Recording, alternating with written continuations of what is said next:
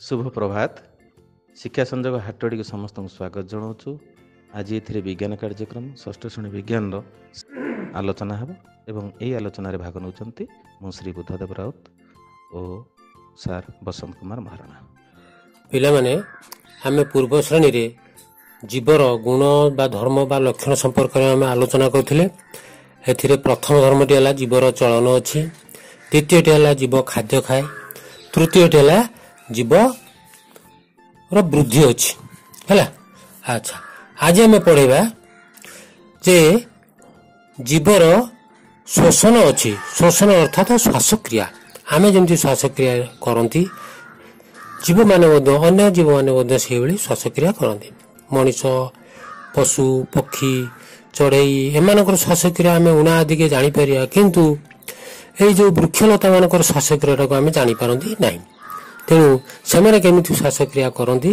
ହେଲା ତା ସମ୍ପର୍କରେ ଆମେ ବର୍ତ୍ତମାନ ଗୋଟେ ଛୋଟିଆ ଉଦାହରଣଟେ ନେବା। ପିଲାମାନେ ଗୋଟିଏ ବୋତଲରେ କିଛି ସ୍ୱଚ୍ଛ ଚୂନ ପାଣି ନେଇଯିବ। ହେଲା ଭିଜା ଗଜାମୂଳକୁ କପଡ଼ାରେ ବାନ୍ଧି ତାକୁ କ'ଣ କରିବା? ସେ ସ୍ୱଚ୍ଛ ଚୂନ ପାଣି ଉପରେ ତାକୁ ଝୁଲାଇ ଦେବା। କିଛି ସମୟ ପରେ ଦେଖିବା ସ୍ୱଚ୍ଛ ଚୂନ ପାଣିଟି କ'ଣ ହେଇଛି?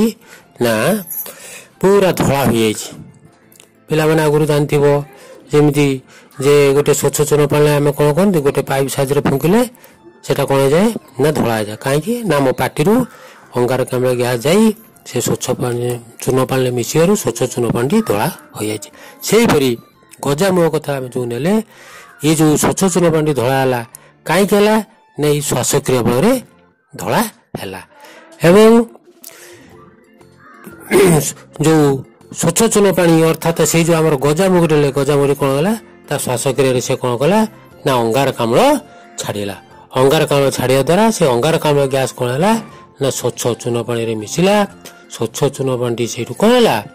ପୁରା ଧଳା ହେଲା। ଏଥିରୁ ଆମେ ପ୍ରମାଣିତ ବା ଏଥିରୁ ଆମେ ପ୍ରମାଣ ପାଇଲେ କ'ଣ? ନା ଜୀବ ଶ୍ୱାସକ୍ରିୟା କରେ। ଆଉ ଗୋଟେ ନେବା। ପିଲାମାନେ ଏହାପରେ ଜାଣିବା ଆମେ କ'ଣ? ନା ଜୀବର ରେଚନ ଅଛି। ରେଚନ କହିଲେ ପିଲାମାନେ ଆମେ ବୁଝିବା ଯେଉଁ ଯେଉଁ ପ୍ରକ୍ରିୟାରେ ଆମ ଶରୀରର ବର୍ଜ୍ୟବସ୍ତୁ ସବୁ ଶରୀର ବାହାରକୁ ତ୍ୟାଗ କରେ ତାକୁ ରେଚନ କୁହାଯାଏ। ହେଲା ଆମ ଶରୀରରେ ଥିବା ବର୍ଜ୍ୟବସ୍ତୁ କିଏ କିଏ? ମଳ ଆଉ ପରିସ୍ରା ଆଉ ଝାଳ ଏସବୁ ହେଲା ଆମର କ'ଣ ବର୍ଜ୍ୟବସ୍ତୁ।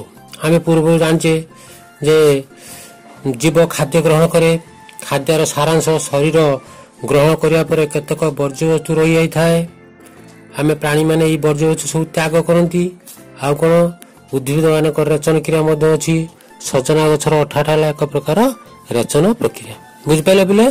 ତେଣୁ ରେଚନ ପ୍ରକ୍ରିୟା କହିଲା ମାନେ ଆମ ଶରୀରରେ ଥିବା ବର୍ଜ୍ୟବସ୍ତୁକୁ ତ୍ୟାଗ କରିବାର ପ୍ରକ୍ରିୟାଟା କହିଲେ ରେଚନ। ହେଲା? ତାପରେ ହେଲା ଜୀବର ପ୍ରତିକ୍ରିୟା ଅଛି। ପ୍ରତିକ୍ରିୟା ଯୋଉଟା କୁହନ୍ତି ରିଆକ୍ସନ ଅର୍ଥାତ୍ ପିଲାମାନେ ତମେ ଯାଉଥିବ ତମ ପାଦର କଣ୍ଟାଟେ ପଶିଗଲେ କ'ଣ ହେଉଛି? ନା ପାଦଟି ଆପେ ଆପେ ଉପରକୁ ଉଠି ଯାଉଛି।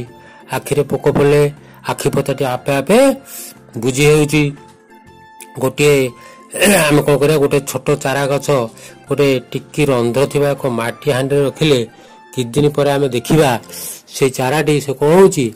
ସେ ମାଟି ହାଣ୍ଡିର ସେ ଯେଉଁ ରନ୍ଧ୍ର ଯେଉଁ କଣା ବାଟେ ଦେଇ ସେ କ'ଣ କରିବ ନା ବାହାରକୁ ବାହାରିଯିବ? ଅର୍ଥାତ୍ ସେ କ'ଣ କରିବ ନା ସେ ଆଲୋକର ଦିଗରେ ସେ ବୃଦ୍ଧି ହେବ ବା ଆଲୋକର ଦିଗରେ ସେ ବଢ଼ି ବଢ଼ି ବଢ଼ି ବଢ଼ି ପଳେଇବ ତେଣୁ ଆମର ସମସ୍ତଙ୍କର ମଧ୍ୟ ଏହି ପ୍ରକାର ପ୍ରତିକ୍ରିୟା ପ୍ରକାଶ କରନ୍ତି ହେଲା ତମେ ଜାଣିଥିବ ଲାଜୁକୁଳି ଲତାକୁ ଯଦି ଆମେ ଛୁଇଁଦେବା ଲାଜୁକୁଳି ଲତା କ'ଣ ହବ ନା ଆପେ ଆପେ ସିଏ ବୁଝି ହେଇଯିବ ନୁହେଁ କିରେ ହୁଁ ଏହିପରି ମଧ୍ୟ ତମେ ଜାଣିଲ ଯେ ଜୀବର ପ୍ରତିକ୍ରିୟା ମଧ୍ୟ ରହିଛି ପିଲାମାନେ ଏବେ ଆମେ ଜାଣିବା ସଜୀବ ବା ଜୀବର ଶେଷ ଗୁଣଟି କ'ଣ?